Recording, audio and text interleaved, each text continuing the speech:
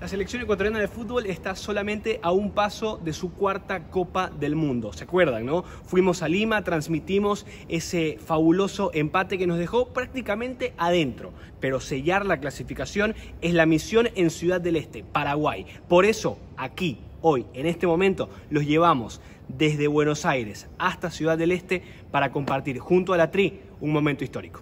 Pinas.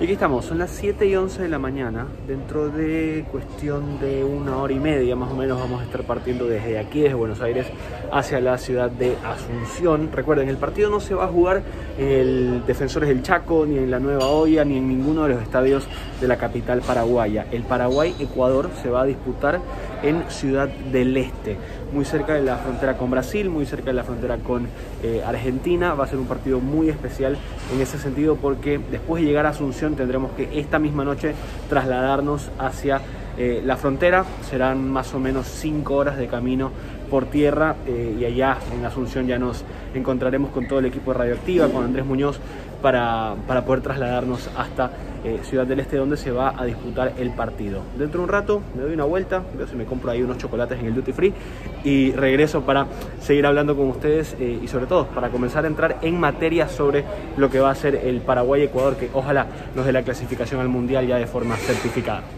Hay mucho ruido de aeropuerto a mi alrededor, pero voy a aprovechar que no hay nadie eh, cerca para quitarme la mascarilla y aclarar una duda, porque la pregunta que más se hace por estas horas es una sola y es la siguiente. ¿Qué necesita la selección de Ecuador, qué necesita el equipo de Gustavo Alfaro para clasificar, para sellar su boleto rumbo a Qatar 2022? Y la ecuación es bastante sencilla, la voy a explicar. Si Ecuador gana o empata por cualquier marcador frente a la selección de, de Paraguay, va a estar en el Mundial de forma garantizada, se va a clasificar a su cuarta Copa del Mundo, pase lo que pase en otras canchas, siempre y cuando Ecuador sume, es decir, gane o empate en tierras paraguayas ahí en, Ciudad del Este. Ahora, ¿qué pasa en el peor de los escenarios? ¿Ecuador se puede clasificar, preguntarán ustedes, si pierde contra Paraguay, si las cosas no se dan de la mejor forma? La respuesta es sí. ¿Por qué? Porque en una combinación de resultados en esta fecha 17 de la eliminatoria sudamericana, si Ecuador llega a perder contra Paraguay, pero Uruguay le gana a Perú y Chile no le gana a Brasil en Brasil, donde ojo, Brasil nunca ha perdido en el marco de las eliminatorias, de todas formas la combinación de resultados le va a asegurar el cupo directo a la Tri rumbo a su cuarto mundial, con lo cual dentro de unos meses, si Dios quiere, nos encontraremos en esta misma sala rumbo a Qatar para lo que va a ser el cuarto mundial de la Tri. Así que vamos con toda la esperanza, pero esas, esas son las cuentas, esas son las matemáticas para que no tengas que sacar la calculadora, ya te lo cuento.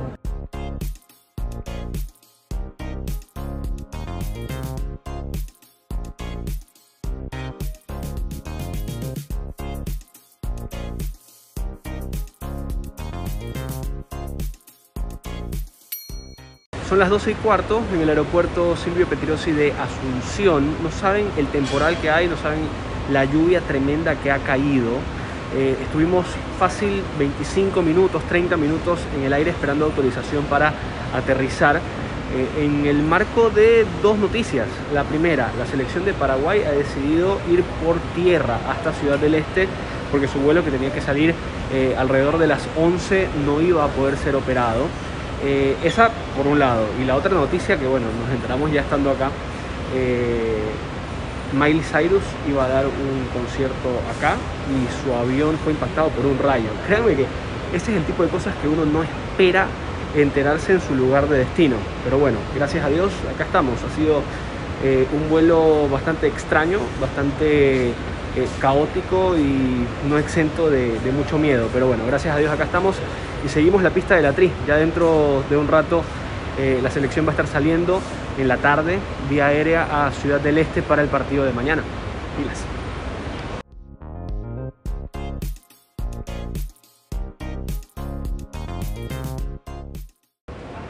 Me he encontrado aquí en el aeropuerto de Asunción con Eric y Ronald. Ellos son hinchas de la selección eh, peruana, son peruanos, van a Montevideo a ver a su selección. Correcto, ¿Y cómo la ven? ¿Cómo, ¿Cómo ven a la selección del Tigre? Con toda la ilusión de clasificar en Montevideo, ¿no? Creo que el equipo viene jugando súper bien y tenemos a la mejor hinchada del mundo. ¿no? Y eso es lo más importante, no ir a alentar. Hay Ustedes- más de 5.000 peruanos ahí yendo a Montevideo. Qué chévere. De todo el Perú, por todos los destinos, ¿no? Gente que va a través de Bolivia, a través de Brasil, a través de Chile, a través de Argentina. De Estados Unidos. Nosotros hemos hecho escala en Santiago, hemos venido a Asunción y ahora nos estamos yendo a, a Montevideo, ¿no? Tremendo, tremendo. Todo por, por el, el corazón y el cariño que le tienen a su selección. Así es. Espectacular. Sin garganta. Eh, y, y así tiene que ser, y así tiene que ser. Chicos, eh, que sea un lindo partido y que se regresen a casa con la maleta llena de puntos y de goles. Y nos vemos Ecuador y Perú en Qatar. Y nos vemos en Qatar. Va a ser así. Chao, Chicos, muchas gracias. Buen viaje. Cuídense, que estén muy bien.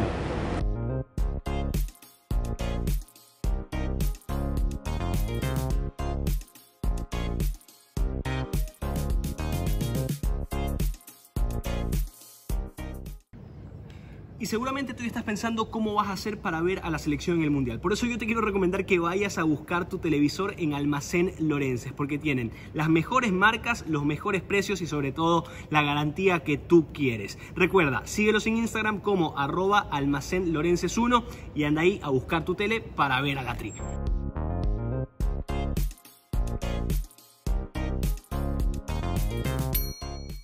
Son las 14 horas con 54 minutos eh, precisamente y estamos cerca de las instalaciones de Conmebol, ahí al centro de convenciones, acá las oficinas y acá el hotel donde está instalada la selección ecuatoriana que a esta hora está entrenando. Yo me encuentro junto a mi compañero, amigo, colega Andrés Muñoz, quien va a ser el narrador de la transmisión de Radioactiva. Como siempre Andrés, un placer tenerte en mi canal de YouTube. Por primera vez. Hola Sebas, ¿cómo están todos? Los youtubers, Deckerlivers, ¿cómo se llaman? No sé, no importa. ¿Puede ser? Me- ¿Funciona? me suena. ¿Gustó? Me ¿No? gusta, me gusta. Bueno, hola a todos, qué gusto. Acá estamos, ya luego que el señor pudo aterrizar con salud, que es lo importante, que no le pasó nada. Sí, bueno, llegamos sin Miley, lo único. Es lo Bueno, que puedo contar. bueno pero Eh. nos, nos encontramos con ella en Ciudad del Este porque como le cayó un rayo al avión, se fue a Ciudad del Este, entonces capaz si nos tomamos un café ahí antes del partido, ¿no?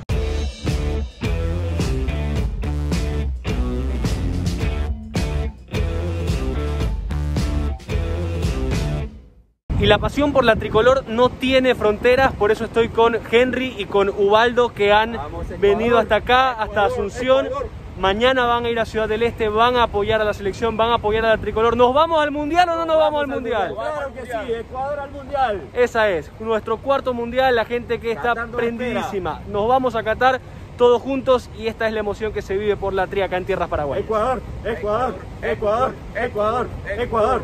Son las 5 de la tarde con 49 minutos y en un día en el cual a esta hora brilla el sol, en el cual ha llovido y en el cual ha pasado absolutamente de todo, finalmente está por salir la selección ecuatoriana de fútbol rumbo al aeropuerto para tomar el avión que los va a llevar hasta Ciudad del Este, donde el día de mañana se va a disputar ese partido que podría ser histórico, el partido que clasifique finalmente a la Tri a su cuarta Copa del Mundo.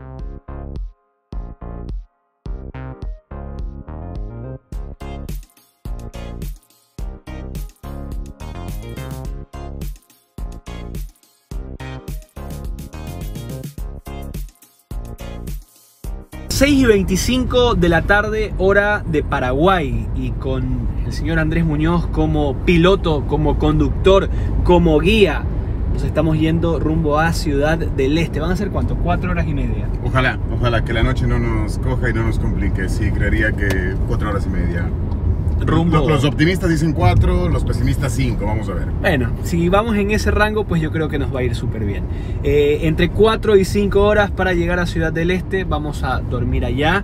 eh, y la selección está llegando dentro de un rato, sí, vía aérea, eh, ahí a la triple frontera con Brasil y con Argentina para lo que va a ser el partido de mañana, que vamos a transmitir por Radioactiva. pilas. La selección va a estar en Qatar y tú, tú la puedes acompañar gracias a Culbet. Para participar solamente tienes que hacer una apuesta combinada de mínimo 2 dólares hasta el 3 de abril, incluyendo un partido de las clasificatorias o el sorteo de la Copa del Mundo. Antes de confirmar tu apuesta no te olvides de marcar la casilla Qatar en tu ticket. La persona con el ticket ganador de cuota más alta se va a llevar el premio mayor. Primero, va a ser el crack de las clasificatorias y además se va a llevar un viaje para dos personas a Qatar a ver a su selección. Recuerda que puedes participar con cuantos tickets tú quieras. Juega y gana con Coolbet. Finalmente hemos llegado. Estamos en Ciudad del Este donde la selección ecuatoriana va a enfrentar a Paraguay dentro de menos de 24 horas. Así que el futuro nos espera y el futuro dice que la tri va a estar en Qatar 2022. Tengo confianza, tengo fe eh, y con todo ese ánimo voy mañana a comentar a la tri a través de Radioactiva. Eh, con un equipo de Gustavo Alfaro que nos hace ilusionar, con un equipo que nos llena de, de esperanza eh, en nuestro fútbol, no solamente en nuestra selección, sino en nuestro fútbol. Eh, y la verdad es que es un, placer enorme poder volver a transmitir a este equipo a través de, de Radioactiva. Así que esto ha sido todo, ha sido un día bastante ajetreado, bastante cansado, divertido, divertido también, sí, ¿por qué no? y con un montón de, ocupaciones en esto que nos encanta. Así que ahora sí, a descansar a la habitación y mañana, eh, recuerden, después del partido, el análisis acá en, en el canal y mucho más. Recuerden suscribirse al canal si les gustó el video, denle like y todo eso que si no estuviera tan cansado se lo seguiría diciendo. Un fuerte abrazo para todos.